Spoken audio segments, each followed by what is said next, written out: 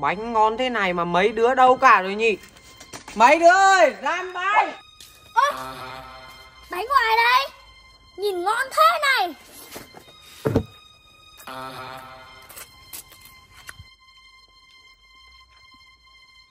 Bánh ngon thế này mà được bốn cái.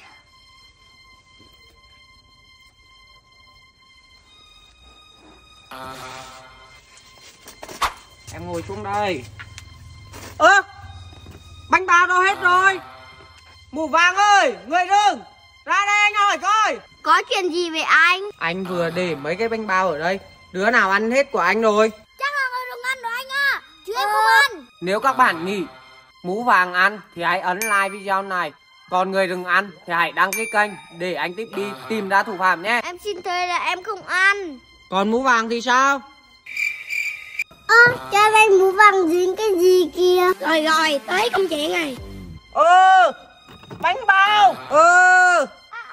Em dám ăn bánh bao. Hết bốn cái của anh luôn. Xong đời rồi em ơi